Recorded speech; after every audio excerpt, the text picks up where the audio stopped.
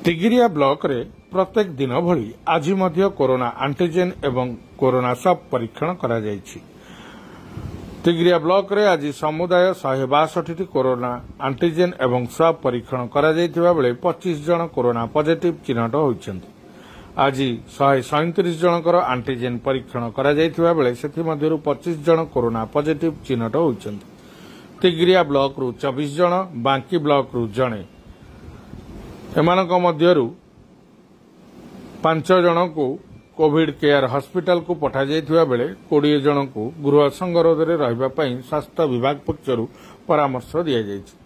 ତେବେ ପଚିଶ ଜଣ ପଜିଟିଭ୍ ଚିହ୍ନଟଙ୍କ ମଧ୍ୟରୁ ଶୁଣ୍ଠିପାଳ ଗ୍ରାମରୁ ପାଞ୍ଚ ଜଣ।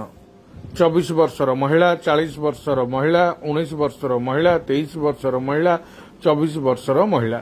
ନୂଆପଟଣା ଗ୍ରାମରୁ ବାଷଠି ବର୍ଷର ପୁରୁଷ ଅଚଳକୋଟ ଗ୍ରାମର ପଞ୍ଚଷଠି ବର୍ଷର ମହିଳା ନୂଆପାଟଣାର ବାର ବର୍ଷର ମହିଳା ତିଗିରିଆ ନିଜିଗଡ଼ର ବତିଶ ବର୍ଷର ପୁରୁଷ କେଉଟ ପାଟଣାର ଛଅସ୍ତରୀ ବର୍ଷର ପୁରୁଷ ବିନ୍ଧାଣିମା ଗ୍ରାମର ଏକତିରିଶ ବର୍ଷର ମହିଳା ବିନ୍ଧାଣିମା ଗ୍ରାମର ତେର ତେଇଶ ବର୍ଷର ପୁରୁଷ ବିନ୍ଧାଣିମାର ପଇଁଚାଳିଶ ବର୍ଷର ମହିଳା ନୂଆପାଟଣାର ଛତିଶ ବର୍ଷର ମହିଳା ନୂଆପାଟଣାର ଛୟାଳିଶ ବର୍ଷର ପୁରୁଷ ପାଳପୁଟ ଗ୍ରାମର ତିନି ବର୍ଷର ପୁରୁଷ ଶୁଣ୍ଠିପାଳ ଗ୍ରାମର ଚଉଦ ବର୍ଷର ପୁରୁଷ ଶୁଣ୍ଠିପାଳ ଗ୍ରାମର ସତର ବର୍ଷର ମହିଳା ଶୁଣ୍ଠିପାଳ ଗ୍ରାମର ବୟାଳିଶ ବର୍ଷର ପୁରୁଷ ବିନ୍ଦାଣିମାର ଚଉବନ ବର୍ଷର ମହିଳା ବିନ୍ଦାଣିମା ଗ୍ରାମର ସତର ବର୍ଷର ମହିଳା ନୂଆପାଟଣାର ପନ୍ଦର ବର୍ଷର ମହିଳା ଶୁଣ୍ଠିପାଳର ଚାଳିଶ ବର୍ଷର ମହିଳା ତିଗିରିଆ ନିଜିଗଡ଼ର ଚଉତିରିଶ ବର୍ଷର ମହିଳା ହିନ୍ଦୋଳର ଏକତିରିଶ ବର୍ଷର ପୁରୁଷ। ଏମିତି ମୋଟ ପଚିଶ ଜଣ କରୋନା ପଜିଟିଭ୍ ଚିହ୍ନଟ ହୋଇଛନ୍ତି।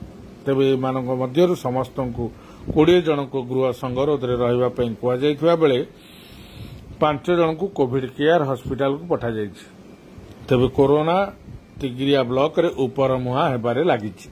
ତ ସତର୍କ ଏବଂ ସଚେତନ ରହିବା ସହିତ ମାସ୍କ ଏବଂ ସାମାଜିକ ଦୂରତା ରଖିବା ପାଇଁ ତିଗିରିଆ ଗୋଷ୍ଠୀ ଉନ୍ନୟନ ଅଧିକାରୀ ବିଶ୍ୱ ବିକାଶ ରାଉତରାୟ ଏ ସମସ୍ତ ସୂଚନା ସହିତ ପରାମର୍ଶ ଦେଇଛନ୍ତି।